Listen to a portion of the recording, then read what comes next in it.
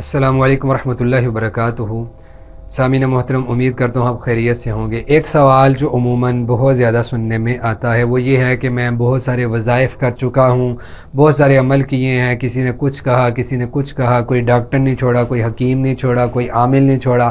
میں نے بہت سارے وظیفے کیے ہیں، اب مجھے آرام پھر بھی نہیں آتا تو میں کیا کروں؟ بھائی، آپ سمپل سی بات، ایک سمپل سادہ قاعدہ سمجھ لیں۔ بہت زیادہ گھومنے کی چکر لگانے کی، عاملوں کے پاس جانے کی ضرورت نہیں ہے، طبیبوں کے پاس گھومنے کی ضرورت نہیں ہے، روحانی علاج کروانے کی اتنے لمبے چوڑے کاموں میں پڑھنے کی ضرورت نہیں۔ آپ یہ سمجھ لیں، بنیادی چیز، اگر تو آپ عاملوں کے صرف کام نہیں کر رہے بلکہ خود پڑھ رہے ہیں۔ صبح بکرا کی تلاوت کرتے ہیں، مسنون اذکار کرتے ہیں، صبح و شام کے اذکار پڑھتے ہیں، حفاظت کی دعائیں پڑھتے ہیں۔ اللہ پر آپ کا توکل مضبوط ہے، عقیدہ آپ کا درست ہے۔ اور آپ حرام نہیں کھا رہے حلال کھاتے ہیں، ٹھیک ہے؟ تو پھر ان ساری چیزوں کے باوجود آپ کو آرام نہیں آتا، آپ کی بیماری میں آپ کو افاقہ نہیں ملتا، آپ کا روحانی مرض، جادو، نظر بد ختم نہیں ہوتی۔ تو یاد رکھیں، یہ چیزیں کافی ہیں، انف ہیں، بہت زیادہ مطلب لمبے چوڑے وظیفوں کی ضرورت نہیں۔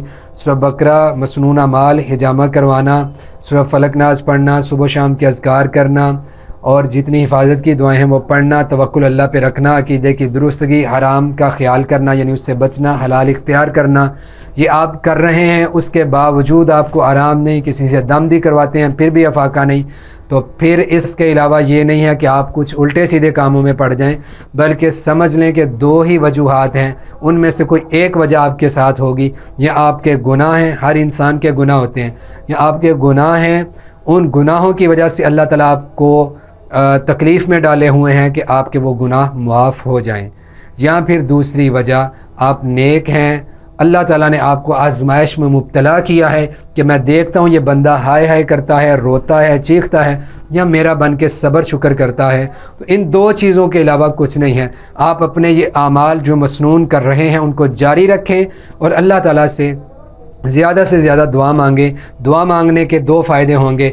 گناہ بھی معاف ہوں گے دراجات کی بلندی بھی ملے گی۔ آزمائش میں پورا اترنا بھی اللہ تعالیٰ کی طرف سے ملے گا، توفیق مل جائے گی اس کی۔ تو اس کا مطلب یہی ہے، یا گناہوں کی معافی ہو رہی ہے، یا آزمائش میں اللہ تعالیٰ ڈار کے دراجات کو بلند کر رہے ہیں۔ اس کے علاوہ کچھ نہیں ہے۔ تو لمبے چوڑے وظیفے کر کے تھکنے کی بجائے مصنون اذکار کرتے رہیں۔ اللہ تعالیٰ سے دعا مانگتے رہیں۔ وما علیہ البلاغ المبین